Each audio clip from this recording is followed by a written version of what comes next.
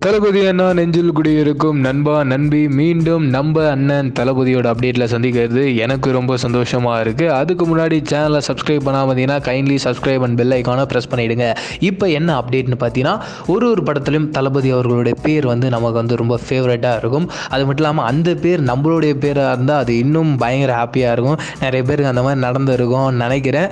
ரொம்ப சந்தோஷமாக இருந்திருப்பீங்க. அது மட்டும் இல்லாமல் அந்த ஒரு கேரக்டர் நேம் தான் முக்கால்வாசி எப்பயுமே வந்து ஒரு படத்துடைய டைட்டிலாகவும் நம்ம நிறைய பார்த்துருப்போம் தளபதி அவர்களுடைய படத்தில்.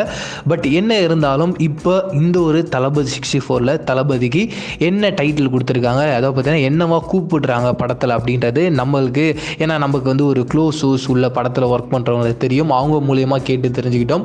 அவங்க நமக்கு என்ன அப்டேட் கொடுத்தாங்க அப்படின்றது பார்த்தீங்கன்னா படத்தில் வந்து ஒரு செம்மையான ஒரு ஸ்வீட்டான ஒரு பேர் தான். இப்போ எப்படி பிகிலில் ஒரு பேர் வந்து ட்ரை பண்ணியிருந்தாங்க சிஎம் அப்படின்னு சொல்லிட்டு. சிஎம்னா என்னன்னா கேப்டன் மைக்கிள் அப்படின்ற மாதிரி.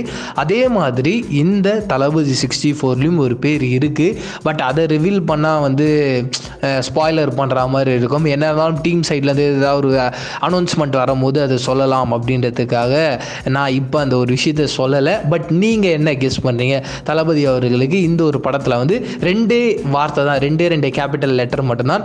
அது என்ன அப்படின்றது உங்களுடைய கெஸ்ஸிங் என்ன அப்படின்றத கீழே இருக்க கமெண்ட் பாக்ஸ் உங்களுடைய ஷேர் பண்ணிக்கோங்க. இதே மாதிரி சூப்பரான நம்ம அண்ணனுடைய அப்டேட்டில் சந்திக்கிறேன். அது வரைக்கும் நீங்கள் நீங்கள் என்ன பண்ணணும்னு பார்த்தீங்கன்னா நம்மளுடைய சேனலில் சப்ஸ்கிரைப் அண்ட் பெல் ஐக்கானை ப்ரெஸ் பண்ணணும். இது மட்டும் இல்லாமல் தளபதி சிக்ஸ்டி ஃபோருடைய இன்ட்ரோ சீக்வன்ஸ் என்ன அப்படின்றது தெரிஞ்சுக்கணும் ஆசைப்பட்டீங்கன்னா அந்த வீடியோ நான் பண்ணியிருக்கேன்.